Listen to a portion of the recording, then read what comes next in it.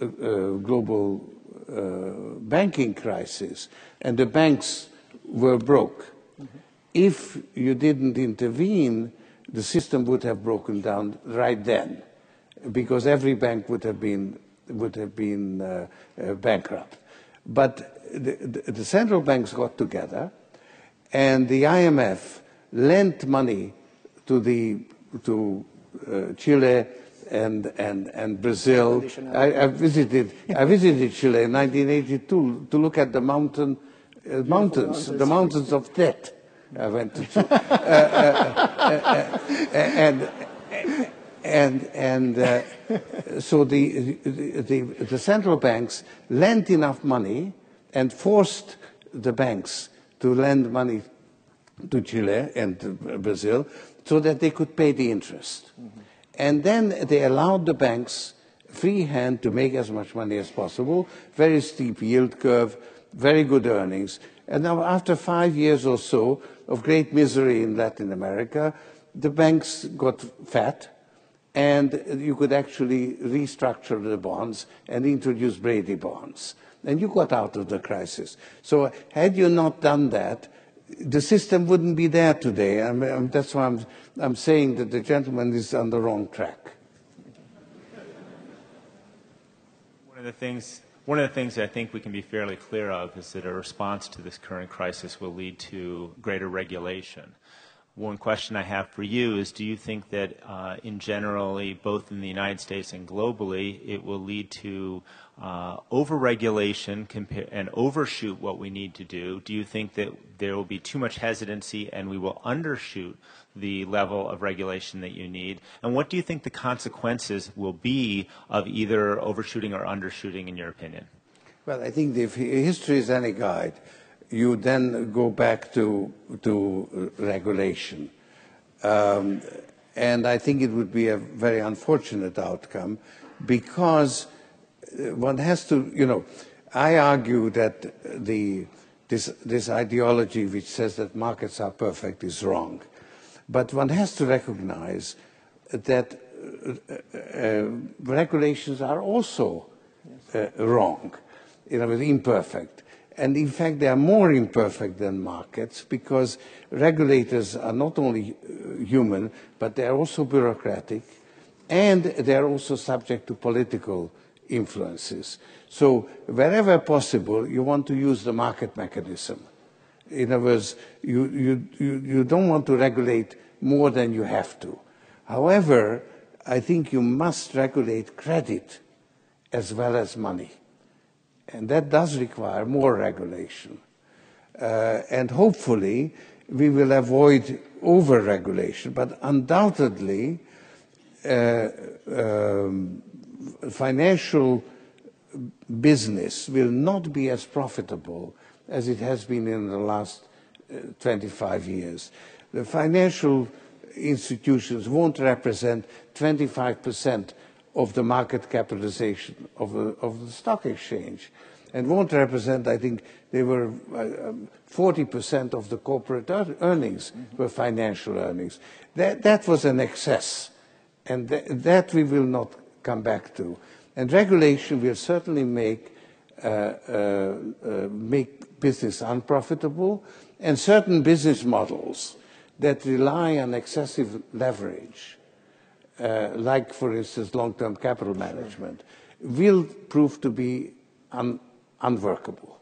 But the, the, the, risk is that all that may move to the periphery or to the shadow financial market. No? You regulate the, the regulated system and and then you get very high leverage in you know, hedge funds and, and places you can regulate very well. Uh, no, I don't think so, uh, because because the you, reg, you, regulate hedge funds through the the banks the that banks you themselves, because the banks uh, have to have risk adjustment, uh, and this, the amount of leverage in hedge funds ought to be taken into account. Thank you for coming, uh, Mr. Soros. Um, I'm not going to ask you to predict the future, but I, I do. I, I pointed. Um, I noticed three contradictions, apparent contradictions in uh, what you said here, and just, maybe you can address them. Uh, you said the world's going to become less uh, U.S. centric, but uh, at the same time, you also say countries like Russia and the Middle East will have a lot less power because of the declining price of oil. So how does that work? Because that's what, you know, the U.S.'s greatest enemies. Um, you, you, Let me answer one by one because uh, you know my memory doesn't. Uh, uh, but then, then just address two of them, not, not three. the U.S. will cease to be the the undisputed dominant force that can impose its will on the world. For instance, hopefully China will move towards a dem more democratic form of government uh, and will be part of the world system. Will have to have a, great, a, a lot more weight than it currently has. The, the, the, the veto power that we have in the IMF has to disappear. So uh, we'll be downsized but at the same time, hopefully, uh, we will have uh, um, a better working system and uh, the, the opponents uh, will be more downsized than we will be.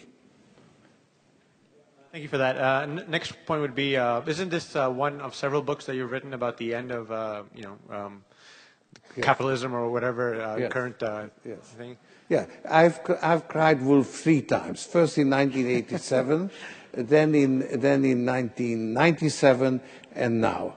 And the third time the wolf came. And, and basically, basically I, was, I was commenting on the same super bubble and the error of market fundamentalism.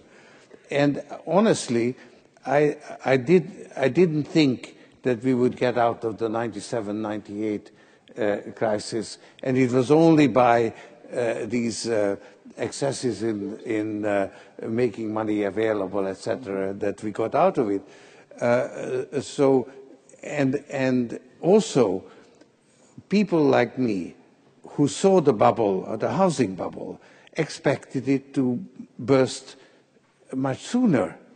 I mean, in 2006, and the real damage was done in the last two years. If it had burst in 2006 uh, instead of 2007, probably we would not be the, at the end of the super bubble because the, the system would have survived. It, pardon? Do you think you can manually burst a bubble? Okay. Do you think central banks? Let's, let's move on. Uh, yeah. Next question. Hi, Mr. Soros. Um, so you have a proven track record of being not only a financier, but also, you know, um, a philanthropist and a political activist. But on the other hand, uh, many of the actions you've done in the past have been a bit controversial. So uh, take, for example, back in 1992, um, you know, Black Wednesday. Um, your quantum fund had a $10 billion bet against the British pound and uh, profits from that transaction amounted to about $1 billion. But afterwards, you know, it threw the British economy into chaos, you know, housing prices, interest rates, whatnot. And similarly, back in 1997, um, during the Asian, you know, financial crisis, Thai nationalists depicted you as a sort of a economic war criminal.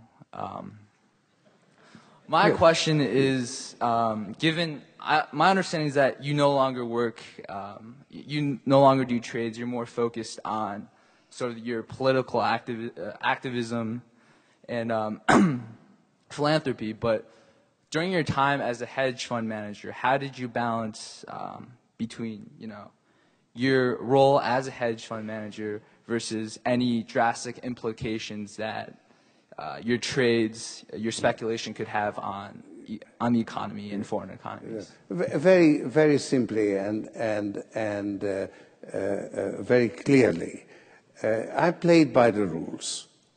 Uh, I was the market. I was a member of the market.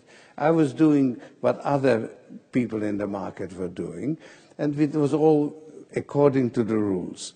And therefore, whatever I did has absolutely no negative moral uh, implications. Uh, um, at the same time, as a citizen, uh, I was concerned with making the rules better. So, uh, and I, I'm still concerned. And I think one has to uh, distinguish between the two things. being a, a, a participant, you